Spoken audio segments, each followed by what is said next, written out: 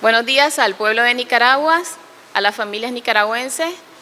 El día de hoy me acompaña la comisionada general Yesenia de Los Ángeles, Loaizi Gabellán, cojefatura de las comisarías de la mujer, donde estamos dando aquí resultados sobre los planes de prevención y seguridad de las comisarías de la mujer dirigidos a las madres de familia, comprendido del periodo del jueves 10 al miércoles 16 de octubre del 2024.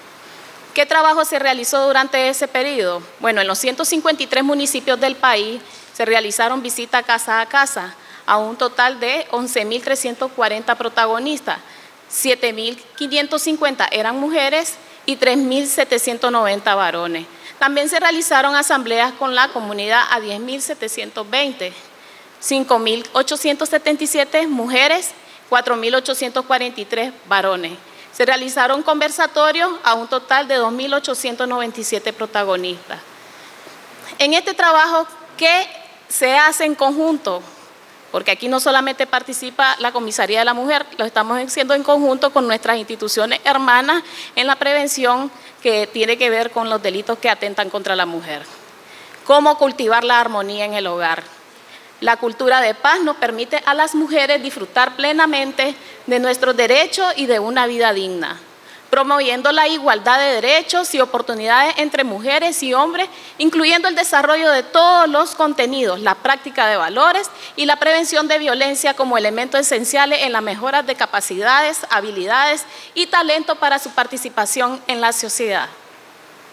En articulación, como lo decía anteriormente, con, nuestras hermanas instituciones, en este, con el Ministerio del Interior, a través de los bomberos, se realizaron inspecciones, 9.796 inspecciones en casas de habitación de las madres de familia y brindaron 9.556 recomendaciones sobre medidas de seguridad en los hogares. ¿Qué medidas se dieron a conocer? Bueno, madres y padres de familia estar preparados para orientar a la familia al momento de una inundación Garantizar que niñas y niños no jueguen en las corrientes de agua y a la orilla de los cauces.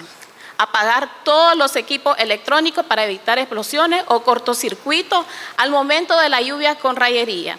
En caso de emergencia, ante situaciones de riesgo, llamar a la línea 118 de la Policía Nacional y del Ministerio del Interior. También dentro de los resultados, nosotros estamos realizando inauguraciones toda la semana y el día de ayer realizamos la inauguración de la segunda comisaría de la mujer, la número 364, en la unidad policial del municipio El Realejo, departamento de Chinandega. Como les decía, ayer miércoles 16 de octubre del 2024. Hoy jueves 17 de octubre de 2024 se realiza la inauguración de la segunda comisaría de la mujer, la número 365, en la unidad policial en la comunidad de Poneloya, departamento de León, siendo beneficiadas 20 mil compañeras mujeres. Como resultado también del plan, tenemos hechos que atentan contra la vida y dignidad de las mujeres.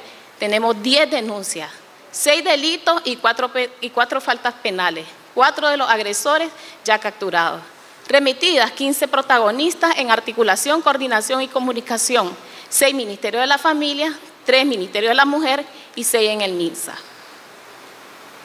¿Cómo estamos con los resultados? Bueno, en caso de violaciones, del 1 de enero al 16 de octubre del 2024, tenemos 405 detenidos, casos resueltos 599.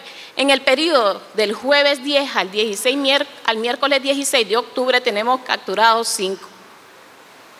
En el caso de los abusos sexuales del 1 de enero al 16 de octubre del 2024, el trabajo eficiente y eficaz de nuestra Policía Nacional logró hasta este año la detención de 372 y casos resueltos 465. En el periodo del jueves 10 al miércoles 16 de octubre del 2024 se capturaron a seis.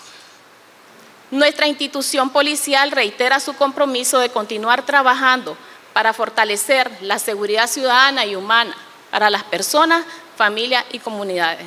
Buen día.